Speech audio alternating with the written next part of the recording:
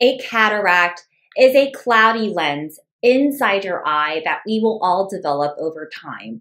There are certain factors that may predispose you to cataracts earlier on, such as genetics, certain medications, certain conditions like diabetes. Cataracts can also be affected by exposures. Even if you do everything possible to prevent cataract, most of us will develop a visually significant cataract that we probably want to address in our lifetime. The right time to do cataract surgery varies from person to person. It really depends on what your visual needs are. The general consensus is that it is time to get cataract surgery when you are at a point where you are struggling to do the things that you want to or need to do because of your vision. At that point, it would be wise to pick a cataract surgeon in your area and get a consultation. A cataract consultation is slightly different from a regular eye exam. Your provider will be doing the entire eye exam, including checking for glasses to see what your best corrected vision is. Your provider will also be getting some testing to look at the shape of the front part of the eye or the cornea, as well as the health of the back part of the eye or the retina. This testing is very important when it comes to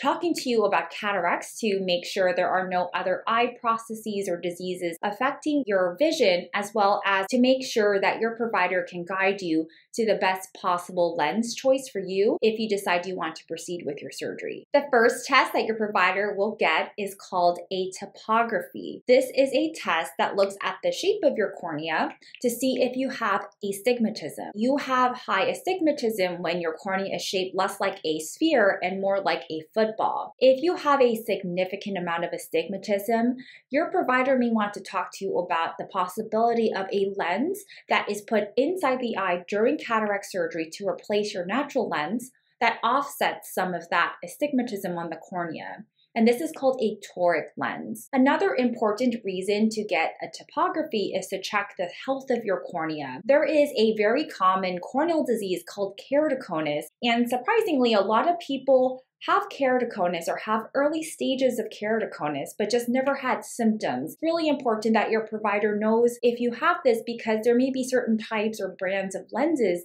that you may not be a great candidate for if this is detected. Another important test is to get a picture called an OCT of the retina. An OCT is a high resolution ultrasound that looks at the layers of the back of the retina, specifically the center part of the retina called the macula. And the reason why this is important is that some people have some subtle scar tissue behind the retina. And while that scar tissue may not in itself be affecting vision, the presence of that scar tissue, especially if you have enough of that scar tissue, may sway your provider against recommending certain specialty lenses such as multifocal lenses. These tests are all very important to help your provider help guide you to picking the best type of lens and best brand of lens for your cataract surgery. During the exam, your provider will be not only measuring the cataracts and planning the potential cataract surgery based on the exam, but also looking for things like dry eye. It is important that if you have severe dry eye that this is treated before the surgery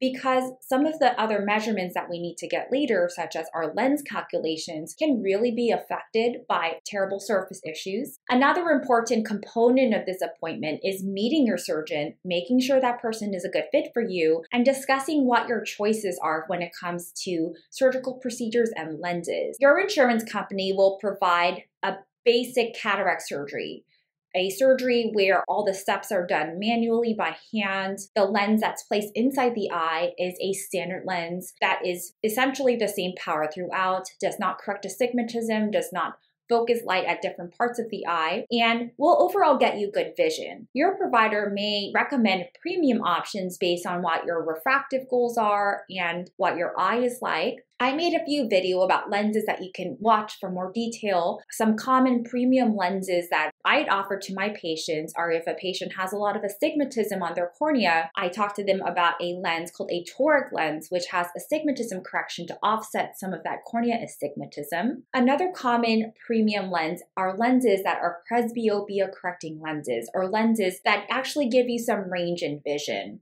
And this is great for patients who hate wearing reading glasses. It's just very important that we refer to some of the previous testing done in clinic to make sure that you are actually a good candidate for this type of lens. When I talk to my patients about cataract surgery, I like to discuss things like logistics, risks to the procedure, including any risks of complication or infection, as well as possible side effects of the surgery. Provider will have gotten all their measurements to measure out a lens that is the right type and the right power for you. If your provider has recommended that you start treatments for dry eye, medicated or over the counter, I advise that you follow your provider's instructions as best you can. While some providers will offer dropless cataract surgery where you do not need to have drops put in before or after the surgery, most providers in the US still require medicated drops, and a lot of times these medications are started one to three days before surgery. Make sure that you receive your drops and have them in your hands as soon as you can. Make sure that you know ahead of time what your drop regimen is going to be before and after surgery. Follow all those instructions. On the day of surgery,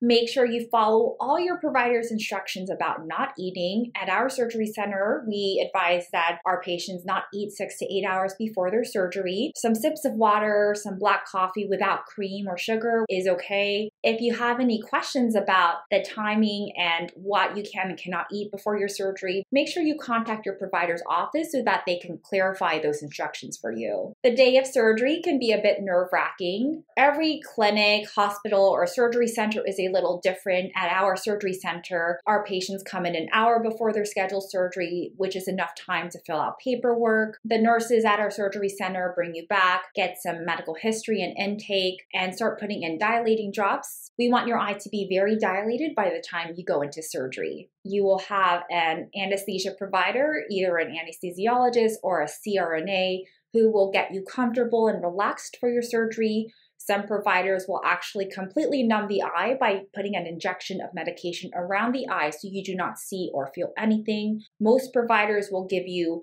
a lot of numbing drops as well as what we call topical medication, such as jellies and medication inside the eye to kind of numb everything as they go along. The surgery itself takes about five to 10 minutes. My patients are under conscious sedation, which means that they're going to be awake during the surgery, but most likely not very aware. We will give you more or less sedation depending on how you're responding to the medication. After the surgery, it's important that you have someone with you because after some of that anesthesia, it's normal to feel a little bit lightheaded, dizzy, and tired, and you will be a higher fall risk. If you've had anesthesia of any kind, it's not safe to drive home by yourself. Most likely, your provider will have an eye shield or a patch over your eye I recommend that you keep that on for the day just so you don't accidentally bump or rub your eye. You can take the patch or shield off to put in your eye drops as instructed. Overnight, you're going to want to wear that eye shield for at least one week in order to protect your eye from any inadvertent bumps or rub. Other restrictions are no bending over for a few days.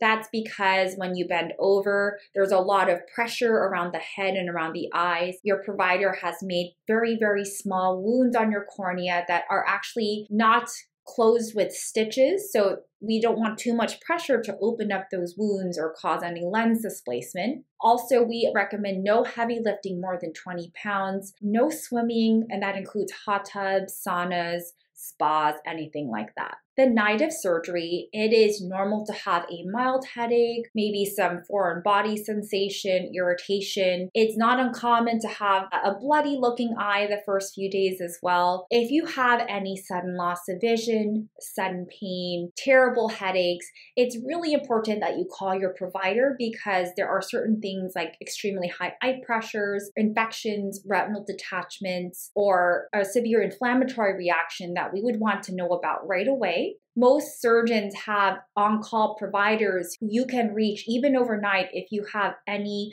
acute symptom or anything that doesn't seem normal. If your symptoms are concerning, your provider or one of their colleagues will come in and check on your eye. You made it to the post operative day one appointment.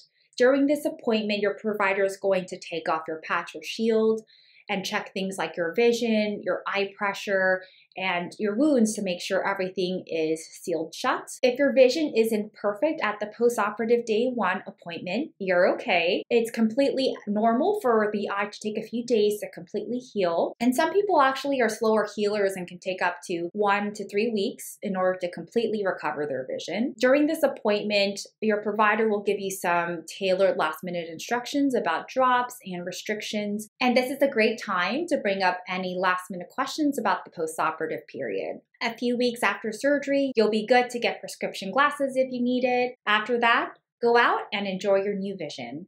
Thanks for watching. If you like this type of content about eye health, disease, and surgery, please feel free to like and subscribe to my channel. Thanks for watching, and I'll see you in my next video.